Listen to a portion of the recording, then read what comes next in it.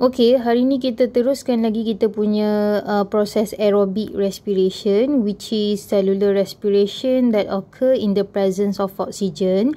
So kita tak settle lagi sebab um, uh, before this uh, saya cakap uh, satu glukos boleh menghasilkan 38 ATP. Okay. Uh, so kalau kita tengok pada uh, proses yang kita dah belajar before this untuk glycolysis kita baru produce 2 ATP okay and then link reaction kita tidak produce apa-apa ATP and then daripada Krebs cycle kita produce 2 ATP so sebenarnya kita baru dapat 4 ATP Ha, okay. So, mana lagi 34 ATP? Sebab saya kata tadi, satu glukos boleh menghasilkan 38 ATP. Uh, so hari ni kita punya aim adalah kita nak produce balance lagi 34 ATP. Okay, nampak macam banyak kan? Uh, tapi sebenarnya uh, mudah saja. Okay, so jangan risau dulu. Okay. Okay, so macam mana kita nak produce 34 ATP tu, kita akan buat lagi satu proses yang kita namakan sebagai oxidative phosphorylation. Okay, so daripada nama dia tu, kita boleh tahu yang mesti ada melibatkan redox reaction. Maksudnya ada komponen yang akan reduce and then ada komponen yang akan oxidize. Okay, and then phosphorylation ni kita literally translate um, produce ATP lah. Maksudnya uh, a series of redox reaction that will produce ATP. Okay. Uh, so untuk kita buat 34 ATP ni, uh, kita memerlukan produk daripada glycolysis which is yang tak settle lagi adalah NADH. And then link reaction pun kita akan ambil dia punya NADH dan juga Krebs cycle kita akan ambil FADH2 dan juga NADH. So bila kita totalkan NADH dengan FADH2, kita akan dapat 10 NADH and also 2 FADH2 that will enter the next process that we call as a oxidative phosphorylation. Okay. Uh, so don't confuse yourself with oxidative decarboxylation. Oxidative decarboxylation is a process tapi merujuk juga kepada nama lain link reaction. Uh, so tidak sama lah eh. Dekat oxidative phosphorylation tidak ada removal of carbon in terms of carbon dioxide. Okay, uh, so kenapa kita boleh produce 34 ATP daripada NADH dengan FADH tu? Jawapannya adalah sebab dua-dua coenzymes ni dia carry electron dan juga hydrogen ion. Sama juga macam FADH tu dia ada electron dan juga hydrogen ion. Okay, uh, masa proses dekat Krebs cycle, link reaction dan juga glycolysis, uh, dia undergo reduction. Tapi untuk oxidative phosphorylation NADH dengan FADH2 akan undergo oxidation okey uh, so jangan pening lagi okey uh, buat bertenang dulu. Okey next kita tengok. Uh, untuk NADH dia punya electron is in higher energy level. Uh, so bila higher energy level apa yang berlaku? NADH is very good at donating electron kalau kita compare dengan FADH2, FADH2 dia punya electron is in lower energy level. So, it is not as good as NADH at donating electron. Okay, so kamu kena faham perbezaan ni lah. Uh, kenapa? Sebab bila NADH ni in higher energy level dan juga sangat bagus donate electron, maksudnya NADH dia boleh produce more ATP. Tapi if ADH2 dia produce less ATP compared to NADH. Okay. Uh, so kita akan tengok juga lepas ni. Don't worry. Okay. Uh, untuk proses seterusnya oxidative phosphorylation. Proses ni berlaku dekat inner membrane of mitochondria.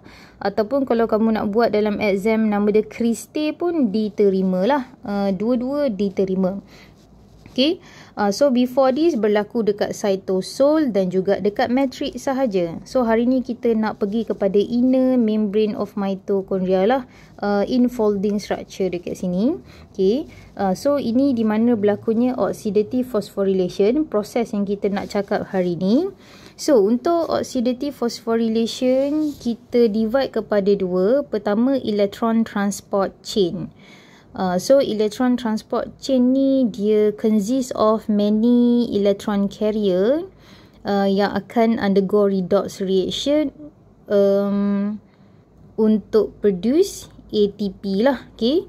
And then chemiosmosis ni adalah satu mekanism uh, di mana kita akan guna energi yang disimpan dalam bentuk H+ untuk ditukarkan kepada ATP okay Okay, saya faham at this point mungkin kamu uh, agak confused, okay.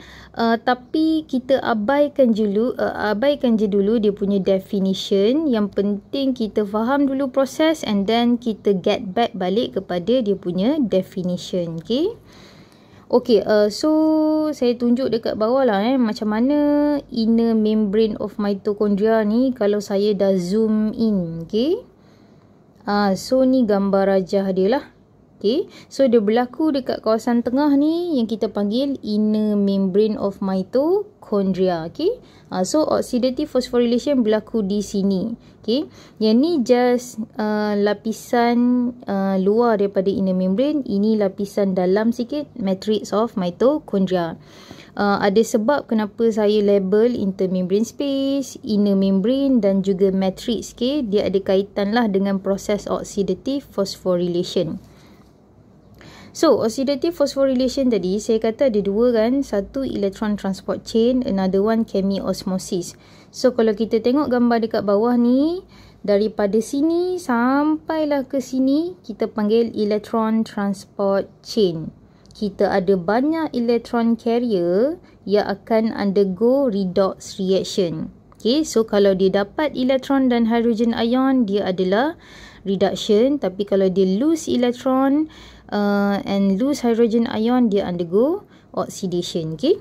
And then lagi satu komponen oxidative phosphorylation adalah chemiosmosis. Satu mekanisme yang menggunakan ATP sintes untuk tukarkan hydrogen ion uh, kepada ATP.